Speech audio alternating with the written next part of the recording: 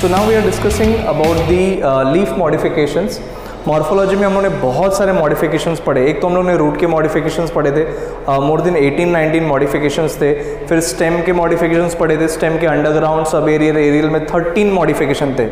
और फाइनली अभी जो चार मॉडिफिकेशंस मेनली डिस्कस करना है दैट इज़ ऑफ़ लीफ तो लीफ मॉडिफिकेशंस में चार मेजर मॉडिफिकेशंस याद रखना है S T H P Shivaji Terminus पे हैरी पॉटर हाँ याद रख लेना, शिवाजी टर्मिनस पे हैरी पॉटर तो पहला जो मॉडिफिकेशन है, उसको हम लोग बोलते हैं लीफ स्पाइंस जब भी लीफ स्पाइन की तरह कन्वर्ट हो जाता है। सेकेंड जो मॉडिफिकेशन है that is leaf when it converts into a tendril leaf tendril third modification when leaf is converted into hooks and final modification जहाँ पे leaf is converted into a phyllode तो S T H P spines tendril hook phyllode तो ये चार modification हो गया।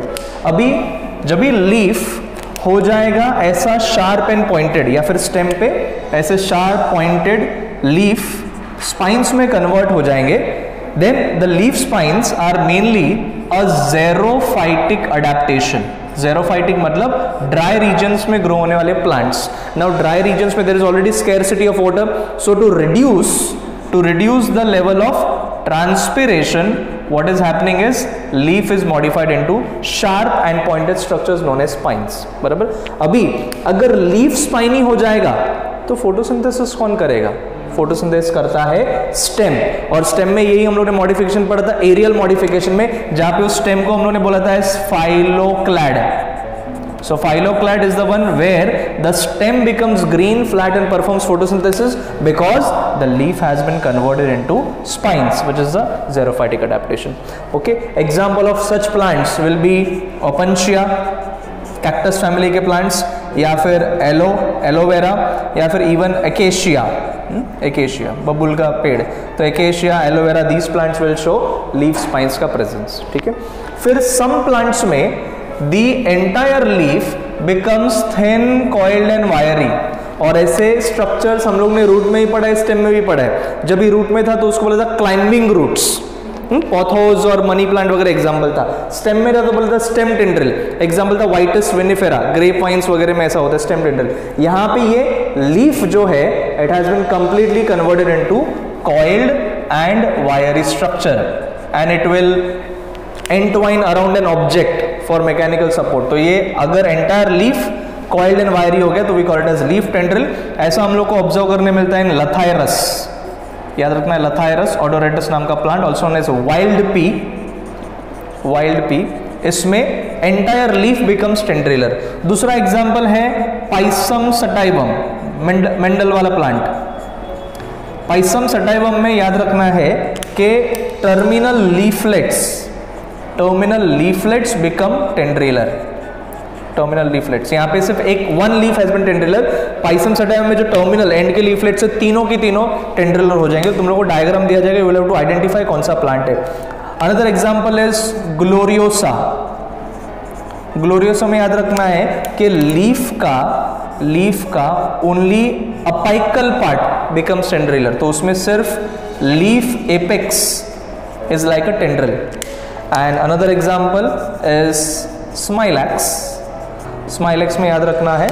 S S Smilax में only the stipules become tendrillar stipules क्या थे? हम लोगों ने पार्ट्स ऑफ़ लीफ में डिस्कस किया था, जो लैटरल आउटग्रोथ्स होते हैं from the base of the leaf उसको हम लोग बोलते हैं स्टिप्यूल्स तो स्पाइलेक्स में स्टिप्यूल्स ग्लोरिजम में लीफ एपेक्स पाइसम सटम में पी प्लांट में टर्मिनल लीफलेट्स लथाइरस में एंटायर लीफ बिकम्स टेंड्रिलर ठीक है? तो वो मैकेनिकल सपोर्ट के लिए। Next modification is leaf hooks जहाँ पे the terminal leaflets becomes hook like ऐसा हुक लाइक स्ट्रक्चर होता है विच अपियर्स लाइक बिल्ली के नाखून.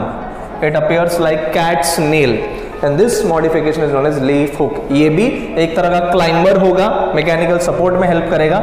Example is plant known as Bignonia Bignonia unguis cati Bignonia is a genus, Anguiscata is the species and variety. So this is leaf hooks जहाँ पे it becomes curved, sharp and pointed like cat's nail. Hmm? It is it is like a climber. Next is phylode.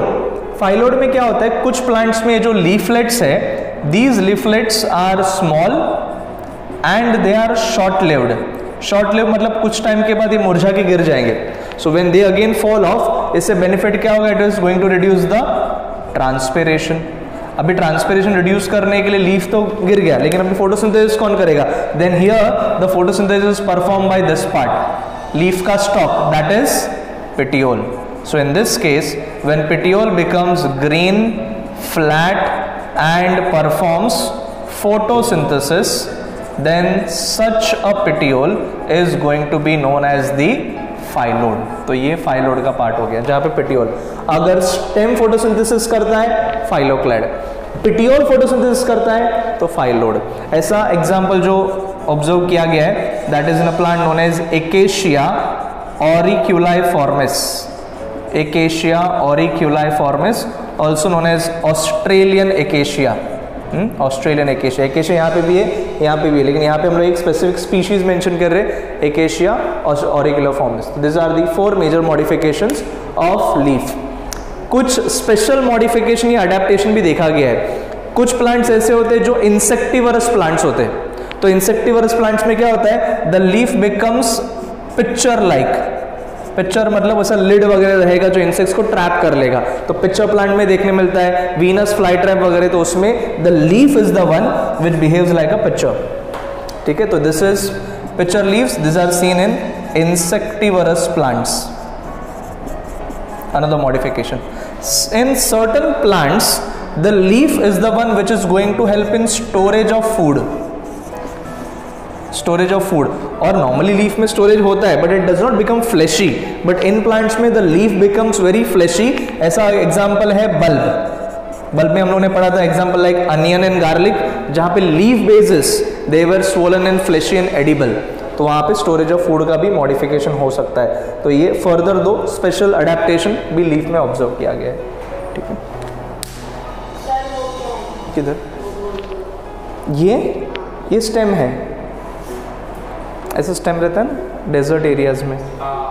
वैसा।